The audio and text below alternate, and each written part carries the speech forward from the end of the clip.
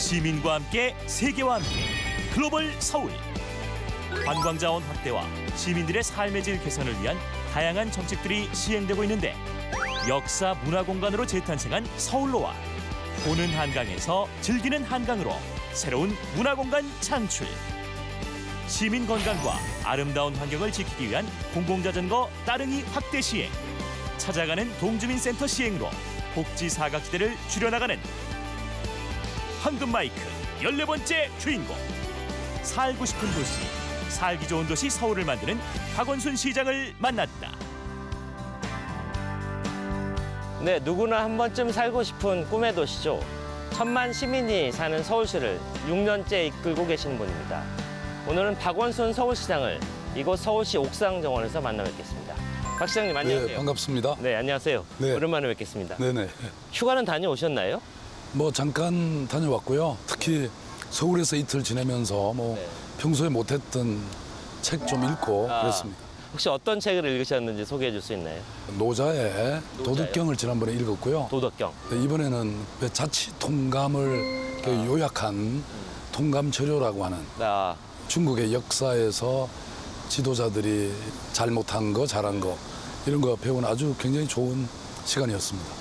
자치통감에서는 지금 어쨌든 서울시를 이끌고 계시고 국가 지도자이시기 때문에 나라를 이끌 그런 해안 그런 지혜를 뽑아냈을 것 같은데 어떤 걸 느끼셨어요? 그게 이제 일종의 천추 전국 시대에 그 생각과 전략과 그다음에 전쟁을 그린 것이거든요. 네, 어, 우리가 소통이라는 게 참 중요한 것 같습니다. 소통이요. 네, 그러니까 시민들에게 전략이 높은 사람들의 얘기를 네. 아주 합리적으로 잘 듣는 것 지도자에게는 가장 중요한 품성이 아닌가.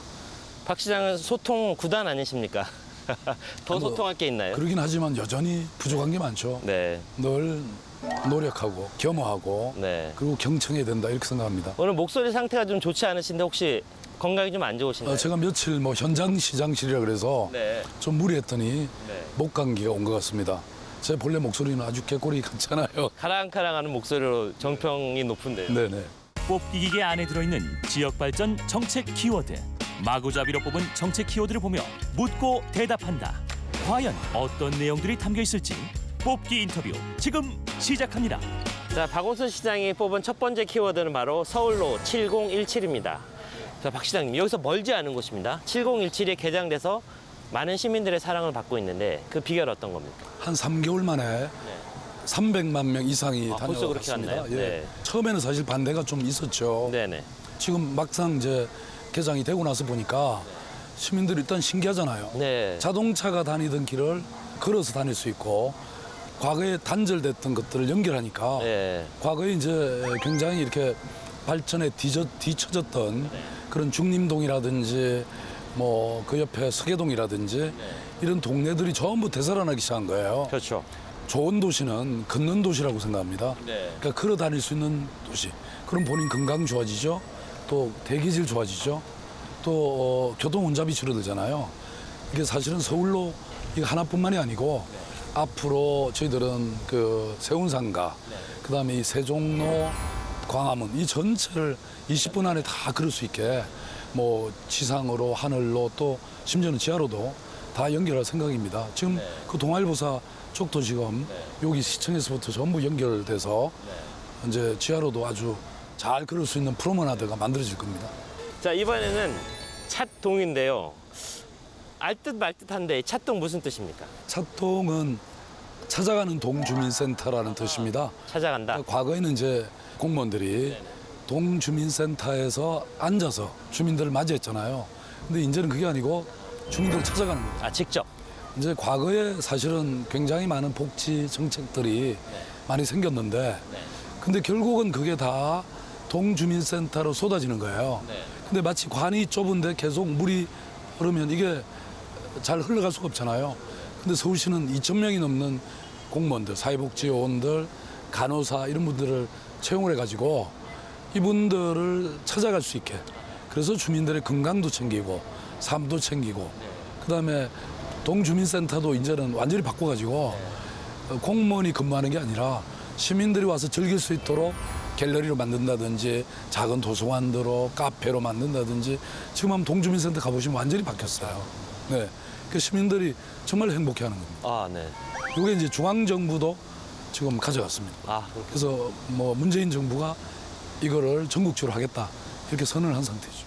이번엔 제가 뽑아서 시장님께 한번 네, 그러시죠. 따릉입니다. 아, 따릉이 알 네, 것 같습니다. 예, 예, 예. 서울시에서 볼 수 있는 그 녹색 자전거를 얘기하는 것 같은데 그렇습니다. 네. 자, 상당히 명물이 돼가고 있는데요. 어떻게 되고. 있습니까? 네덜란드라든지 또는 덴마크라든지 이런 북유럽을 가면요. 거의 교통수단의 40%가 자전거입니다. 그리고 동계를 가보니까 자전거 도로가 충분치 않은데도 불구하고 자전거 타는 사람이 엄청 많아요. 그래서 제가 결심을 해가지고 서울에 금년 연말까지 2만 대 공공 자전거 따릉이를 설치하자. 지금 현재는 몇 대입니까? 지금 한만 2천 대 정도 되고요. 아, 한두 배가량 늘린 네. 이렇게 되면 세계 가장 자전거가 많은 도시가 됩니다. 그리고 어, 특히 젊은 사람들이 굉장히 좋아합니다. 지금 뭐 어, 따릉이 회원이 수십만 명이 됐어요. 아, 그렇군요. 예, 예. 자, 여기서 따릉이 서비스를 궁금해하는 분들이 있을 것 같은데 어떻게 이용- 이용하면 되는지 간단히 설명해 줄 수 아, 있겠습니까? 온라인으로 가입도 간단합니다. 네. 3만 원만 내면 3만 원. 1년에 1년에 3만 원. 네, 그럼 뭐 언제 어디서나 타고 다닐 수 있습니다. 네. 다음 키워드 부탁드리겠습니다. 청년 수당입니다. 네, 아, 이 문제. 지금 청년 실업 문제 굉장히 큰 화두가 되고 있고요. 국가적으로도. 오리지널 아이디어가 바로 박원순 시장이 제공했다 이런 얘기 있는데 어떤 얘기입니까? 아니 그거 아직 모르셨어요? 이건 완전히 박원순 표입니다. 아, 그렇습니까? 네. 그러니까 청년의 문제가 이렇게 심각한데 그 청년 정책을 만드는 과정에 있어서 네. 저나 서울시 공무원들이 일방적으로 만드는 게 아니고 네. 서울시 청년들에게 물어보자. 네. 그래서 2년 동안 청년 정책 네트워크를 만들어서 네. 그 청년들이 제안하고 토론하고 논쟁하고 그리고 결정한 그 20개의 정책을 청년 보장 정책이라고 해서 저희들이 만들었는데 그 중에 하나가 청년 수당입니다. 그거는 이제 이렇게 취업하는 게 굉장히 힘들지 않습니까? 그러면 그 과정에서 자기의 실력도 늘리고 학원도 좀 다녀야 되고 뭐 이런 걸 해야 되는데 돈이 없으니까 알바하는 데 시간을 다 보내는 거예요. 그런 비용을 우리가 대주면 자기 역량을 강화해서 취업하는 데 훨씬 도움이 되도록 이렇게 만들자는 겁니다. 자, 다음 키워드는 제가 한번 뽑아보겠습니다. 네, 이번에는 비정규직의 정규직화. 이 역시 박원순 시장께서 굉장히 강점이 있는 분야인 것 같은데 많이 했죠? 지금 우리 대한민국의 노동자가 1,800만 명이라고 하는데요. 그 중에 절반 이상이 비정규직이다. 이런 통계가 있습니다. 그래서 우선 서울시부터 해결해 보자. 그래서 지금 9천 명이 넘는 서울시 또는 서울시 산하 기관의 비정규직을 정규직화했습니다. 아, 그렇군요. 네. 그리고 지금은 2단계로 이분들이 이제 승진이라든지 또는 휴가 제도라든지 복지 포인트라든지 이런 것들도 기존의 정규직과 다름이 없도록 이렇게 지금 차별을 해소하는 그런 프로젝트를 진행하고 있거든요. 그래서 이것도 문재인 정부가 채택하겠다. 그래서 이것도 지금 전국화 되게 됐죠. 국내 문제 잠깐 좀 짚어봤으면 좋겠는데요. 북한 핵 문제로 연일 나라가 시끄럽고요. 모두 전쟁 운운 하고 있는데 현재 상황 어떻게 진단하십니까? 큰 위기라고 생각합니다. 특히 서울 불바다 얘기도 하고 있지 않습니까? 서울시장으로서 아, 이건 보통 심각한 상황이 아니죠. 그래서 저는 좀 멈추어서 차분하게 서로 생각하는 미국과 북한의 공이 좀 이렇게 어, 캄다운 시킬 수 있는 네. 그런 노력이 일단 필요하지 않나 싶습니다. 그렇습니다. 포탄이 떨어지면 가장 큰 피해를 입을 곳은 바로 수도 서울, 대한민국 아니겠습니까? 그렇습니다. 지금 그런 뭐 면에서 해법을 좀 제시할 수 있겠습니까? 일단 멈춤을 한번 해보자. 그리고 나서 기어를 새로 바꾸자.